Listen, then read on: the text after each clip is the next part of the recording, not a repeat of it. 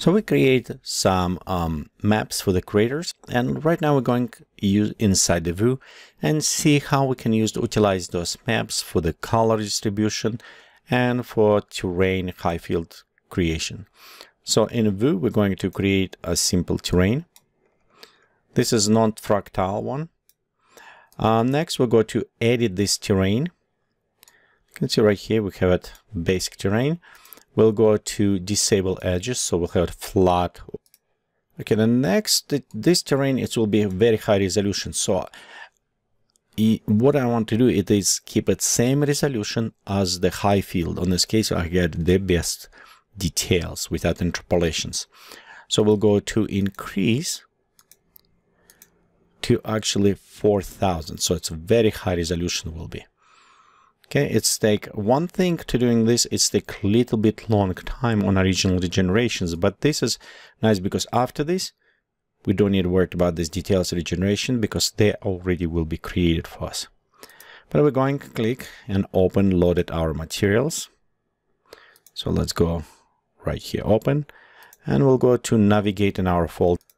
Okay, creators, and we have right here high field so let's select the main high field. We open and we'll go bring this all the way picture 100%. Let's click OK. And you can see right in this area, second. There you go. Let's finish rendering. And here we have our um, craters. And you can see we have it bigger, smaller, all this. Uh, don't worry if it's maybe a little bit too flat. We always can pop back this back in if we need it. Right now we'll go click OK. So next, let's select our camera. And I want to take this camera and bring a little bit above, maybe a little bit more than a little bit, just above, and we'll go look down on our terrain. The reason why we look down so I can see the color distribution. Also, I'll work with terrain. I'm just taking scale a little bit up. So if you work in TerraGen, and you can save file as a TerraGen format, it's a little bit nicer because when you import it, it's also import the height of your field, so it's more accurate resolutions.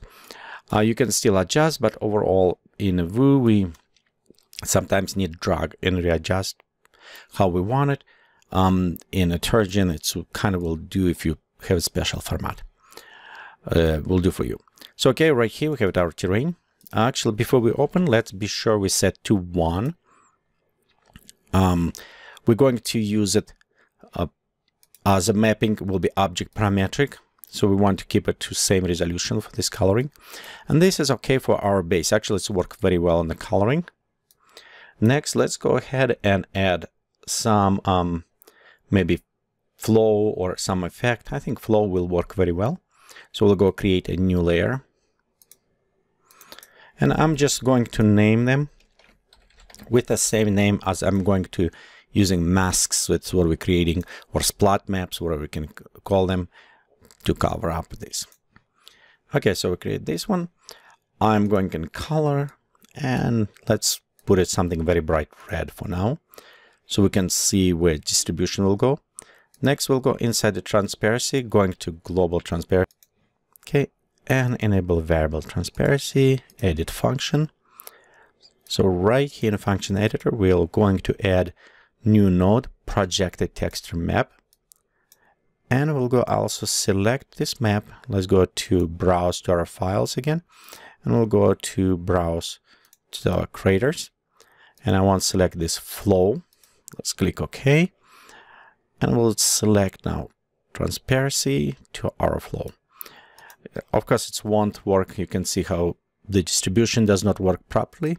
Reason is we need switch say to object parametric. This is number one. And also you can see in preview, they're going um, inverse. So we need it inverse our invert our colors. And that is kind of layout very nicely. So before modify colors, I want to do add another layer. And this way we can see how they also will interact. So on this one, let's go to call rocks flow. Okay. Okay, next, um, let's select color. We'll edit color and let's put some something other opposite green color, for example, we can see it. We'll go in transparency, 100% variable. So now it's invisible, kind of, because we still have it gray on this one. Let's go to edit this function. In some cases, this is exactly same steps as we did before. So we go right there, we'll go select map, we'll go to rock flow. So what we selected, um, going to transparency, connect grayscale and inverse it. So right here you can see we have those rocks in other places. Let's go create new and again, oops, we need object parametric for this. So yeah, the distribution go properly. Um, also, if you notice why I say scale, if we don't also change global scale, for example, if it was 3, you can see how now it's all distorted. So be sure this one, is what before we set to 1, so they all properly. Okay, let's go next. Uh, maybe add some deposits and wear. And we can do also uh, rocks height if we want separate rocks. But I don't think we need to do all of them. Again, this just example, you can see what we're going. So let's go to um, deposit. And deposit will just go select maybe purple. Uh, go to transparency. Okay, let's set object parametric as I remember. Right here, go variable, edit function, add new text project texture go to loaded our files. We go right here, loaded our uh, deposit.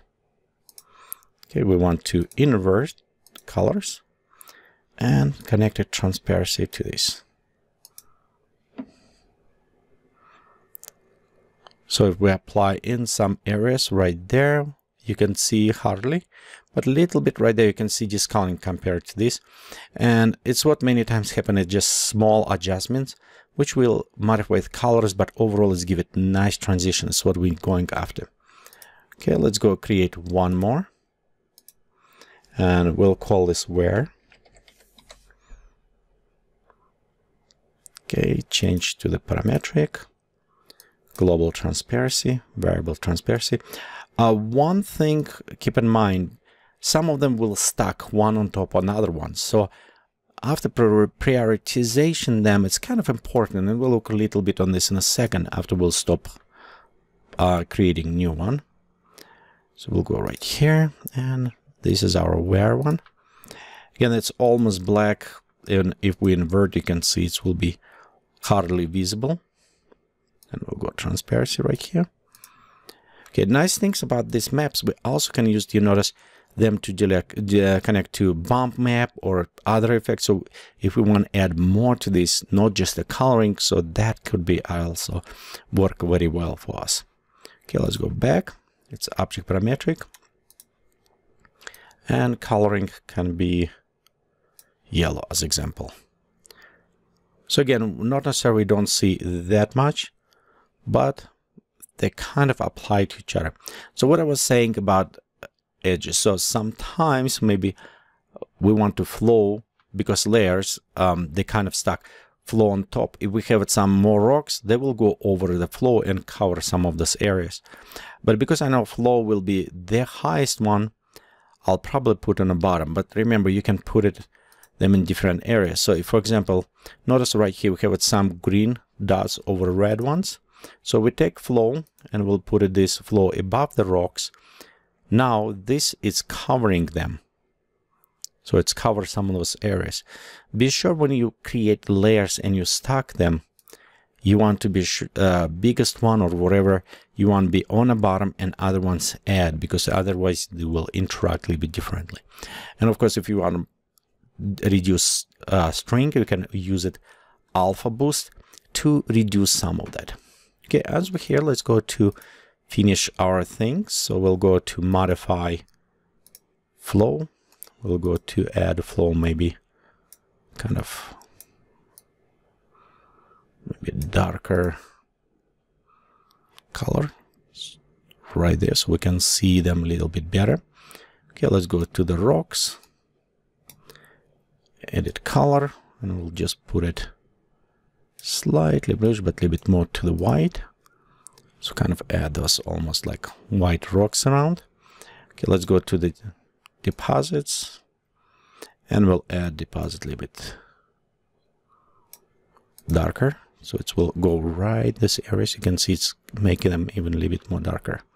Okay and same with the wear edit.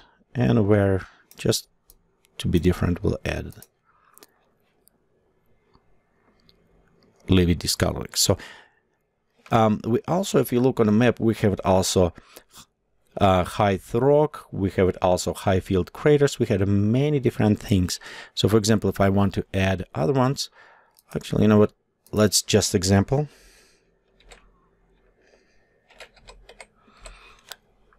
Let's go to high field craters let's go to object parametric.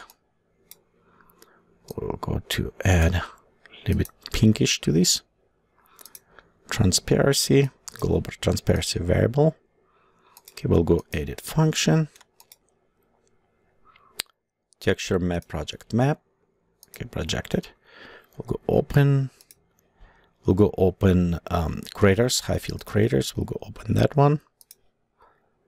Okay inverse invert colors. Connect transparency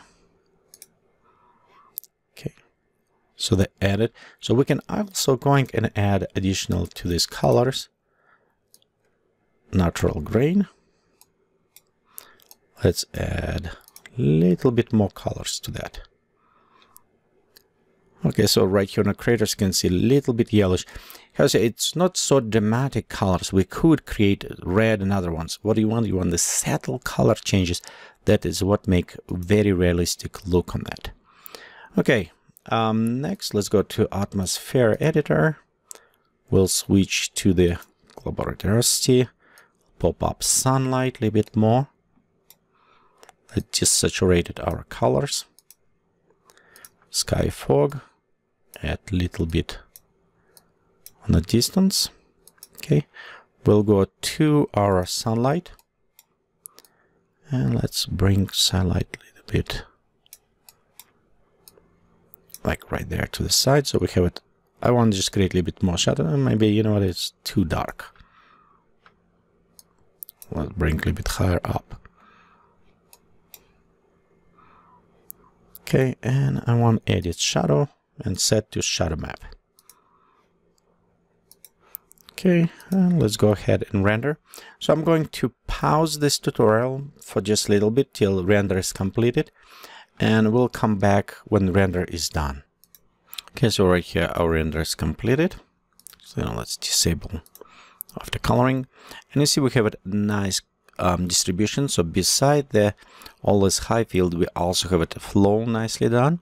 We have those teeny tiny speck of rocks. We have it deposits, a little bit coloring on the uh, craters.